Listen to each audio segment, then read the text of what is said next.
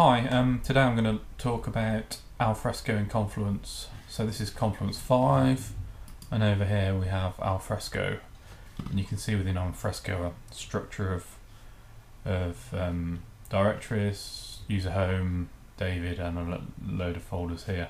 What we're going to do in Confluence is embed something out of those folders into a new page. So I'm going to create a new page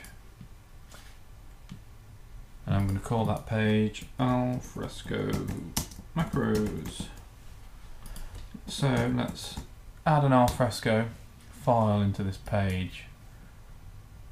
So let's go into the user homes.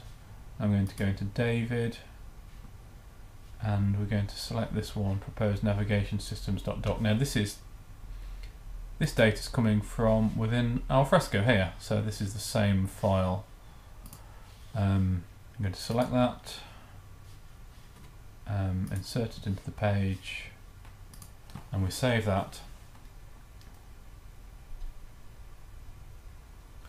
And here it is, it's, it's shown within the page there. And we can have a look at it in fresco, as well. Um, some. Let's have a look at it over here. Oh, that's downloaded it.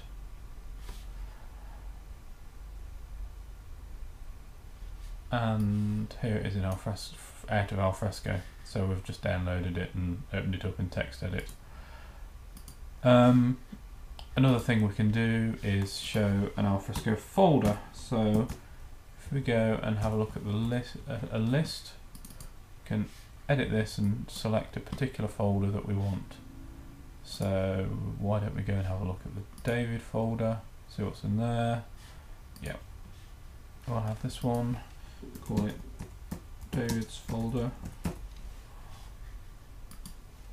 Save that.